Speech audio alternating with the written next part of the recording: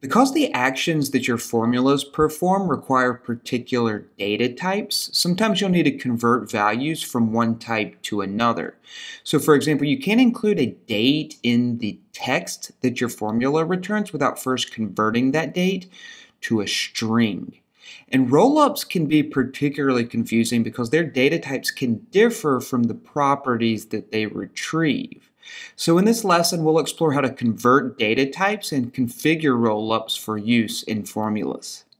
So you're going to want to be comfortable with my formula fundamentals lesson before diving into data type conversions. But as a quick refresher, every value of a Notion property is one of four data types. We have numbers, dates, booleans, which are true or false, and then we have text strings. And most values are going to be strings when they're applied within Notion formulas. And the operations that your formulas perform require particular data types. So, for example, you can only calculate the sum of numbers. You concatenate or merge text strings. You find the time between two dates, and you compare one Boolean with another Boolean. And so, therefore, when you reference other properties as inputs in your formulas, you need to remain mindful of their data types. If you attempt an operation with incompatible data types, you'll get what's called a type mismatch error. So in this formula property here, if we try to add the number one to the string one, we get a type mismatch error. But as you'll see, we can use a function to convert that string to a number and then submit successfully. So we're going to look at a couple of these conversion functions. The first of which is the format function, which converts values to strings.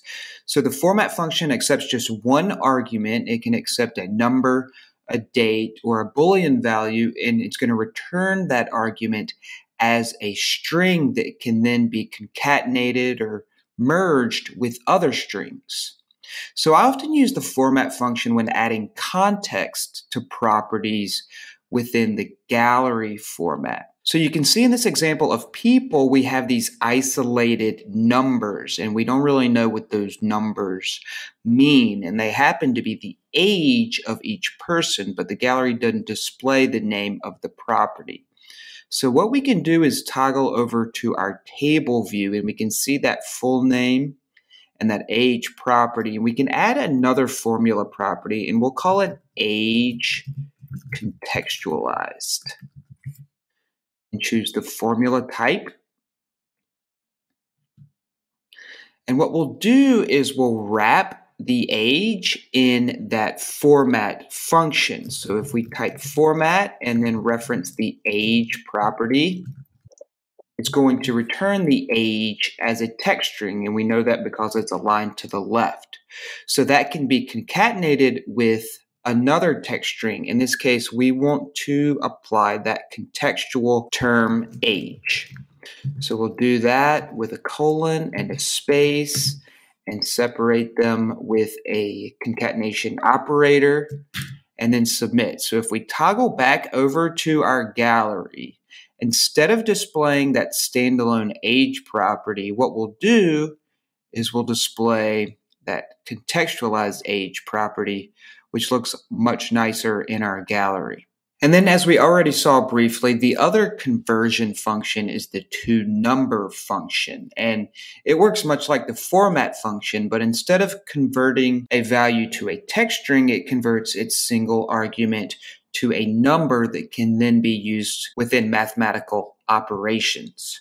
So as you saw, it can accept a string like 2 within quotation marks and convert it to the number 2. And then if we reference a date property for its argument, it's going to return this big number. And what this is, is it's called a Unix timestamp, and it's the number of milliseconds since Unix epoch or January 1st, 1970. And then for Boolean values, it's going to return either a 1 or a 0. 1 for true, 0 for false. And as we know, checkboxes in Notion are Boolean values, where checked is true and unchecked is false. So what that means is if we reference any of these requirement properties, we can convert their values to numbers and then calculate a score. So let's do that briefly. What we'll do is we'll keep our existing formula here and just replace the reference with requirement one and submit. And so you can see that because all of these requirement one values are checked, we get a one for each one. But then we can copy that, paste it, and add requirement one to requirement two. And you can see here that for item A, the total remains one because requirement two is unchecked. But for B and C, both one and two are checked. So we get a two. And if we do it one more time and reference requirement three, you can see that we have the returned numbers one, two, and three. So for each of these requirement properties, we're converting them to numbers and then adding them together to tally our total score for each item. So let's move on to rollups. Like I said, the value types of rollups can be pretty tricky. So as you know, rollups retrieve the values from related items. In this case here, we have transactions and we have invoices. And each of these transactions is a payment for an invoice. So each transaction is related here to its corresponding invoice. And what that allows us to do is use rollups to retrieve information about the associated payments. In this case, we have a rollup property that retrieves the date of the corresponding payment, and we have another rollup property that retrieves the total amount paid. So if we look at the configuration of this payment date rollup, we've chosen the payment relationship. We want to retrieve information about the associated payment. And for that payment, we want to retrieve the date. And right now we have the default calculation of show original. So that's where this gets tricky is default calculation of show original is always going to return a text string. So if we try to use this value within a formula as a date, we're going to get an error because while this looks like a date, it is in fact a text string. So if we wanted to calculate how many days late an invoice was paid, we'd want to find the time between the payment date and the due date. And to do so, we would use the date between function. And as its first argument, we'd supply the payment date. Second argument would be the due date. And then we want to find the number of days between them. So you can see here that we get a type mismatch with this formula because payment date is not a date it is a text string. So I'm going to copy this formula and come back into our payment date configuration. And rather than show original, I'm going to convert this to the latest date. In this hypothetical instance, this invoice could have been paid over multiple payments. So we just want to show the latest payment. And so that is going to align the value to the right and convert it to this natural language, which I don't find very useful, but it is of the date value type now. So if we come back into our days late formula, paste what we had written previously, we can now submit it and we can see that this first invoice was five days early, the second one was on time, and then the third was three days late.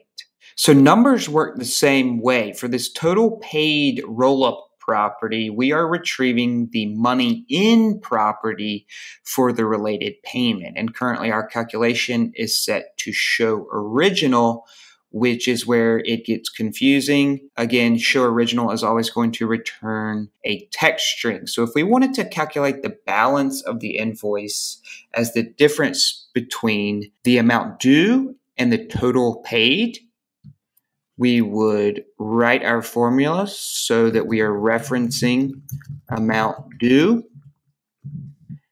and subtracting total paid. And we get that type mismatch error saying that total paid is not a number. So I'm going to copy this formula and come back into our rollup configuration.